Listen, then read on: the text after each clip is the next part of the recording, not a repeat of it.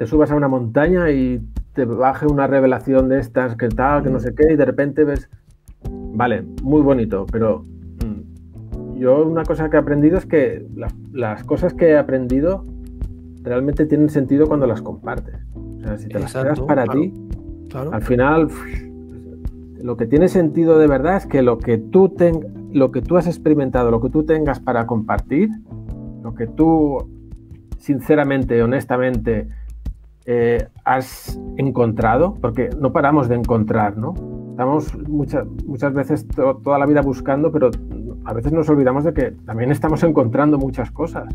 Pero como estamos tan cegados con, con la búsqueda, mm. bueno, el tema está en ese, en ese cosa que describías ahora, ¿no? De, de, compartir, pero no compartir imponiendo, no compartir, sino compartir porque simplemente ahí, eh, se generan espacios en los que resuenas, ¿sabes por qué?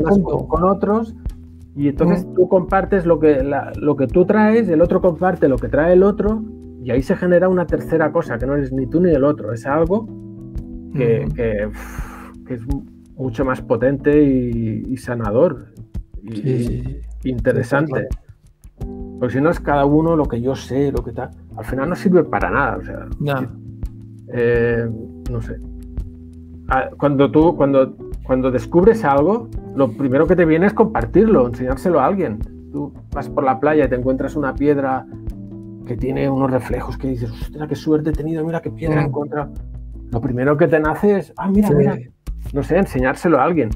Sí, sí, Pero al final, si te lo guardas tú, no, al final no te sientes igual de vacío.